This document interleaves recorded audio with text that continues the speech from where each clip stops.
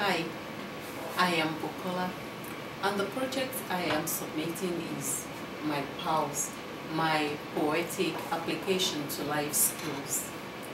It is a collaborative initiative between the library, downtown and I and I Diversity. My Pals is a poetry award-winning project designed to maintain the character of every community youth through the dynamics of cultural impact so as to transform the youthful exuberance of Calgary immigrant youth into vibrant adults and populate the Canadian society with quality youth and reliable workforce for the future.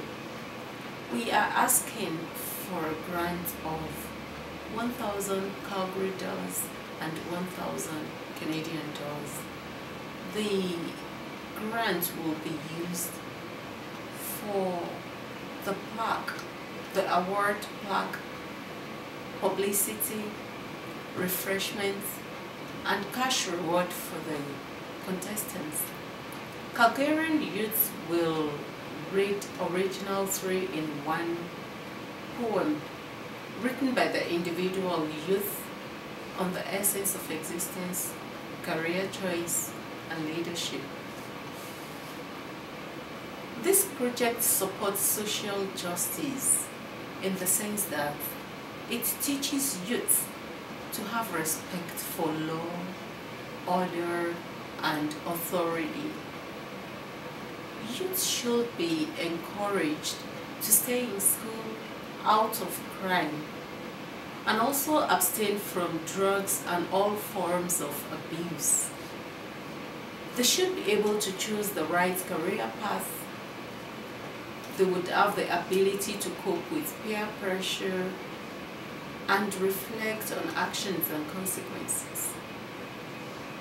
Through these poetry projects, my pals, youth should encourage one another to develop leadership instincts and increase youth involvement in productive activities as they query the essence of existence, acquire skills in their choice career by understanding their potentialities and developing them, and also understand that dexterity in any chosen field is real leadership.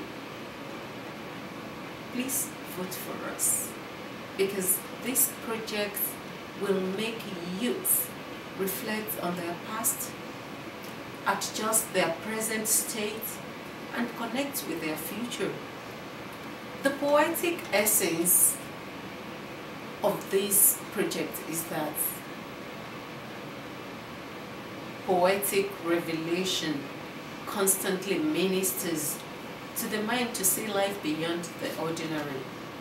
In poetry, communication is purest and more perceived.